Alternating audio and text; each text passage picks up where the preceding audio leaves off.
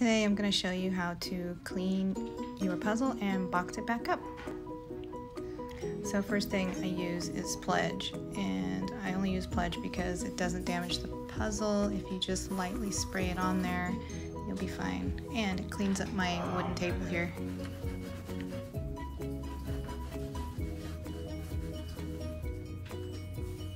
I'm picking up the puzzle carefully. Oh, Yay!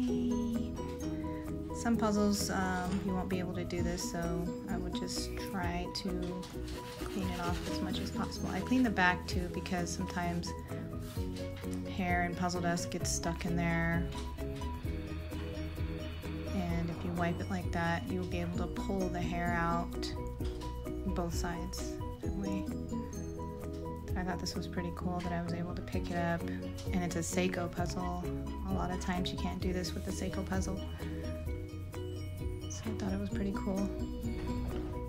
This is one of the better Ceaco puzzles.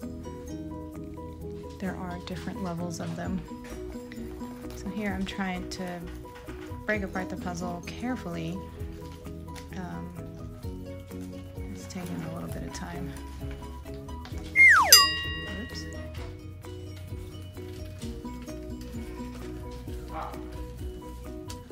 But you do want to be careful because you don't want to bend any of the little heads of the pieces.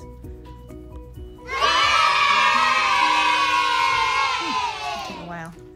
Okay, so I have the bag that I um, bought it in.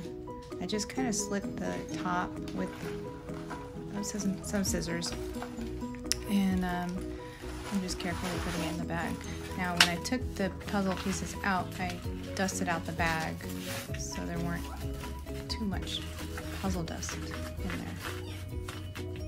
So I'm just picking them up, throwing them in there, hopefully not dropping any. Okay, we're safe. So I tape up the bag. Find my tape. Now I clean the table again because OCD. I just don't want puzzle dust all over everything that I work with. So now I get the original box. It did come with a poster since the box is so small. I think all puzzles should come with a poster, but that's just me. Carefully put the puzzle pieces back in there. Trying not to force anything because you could damage the pieces inside.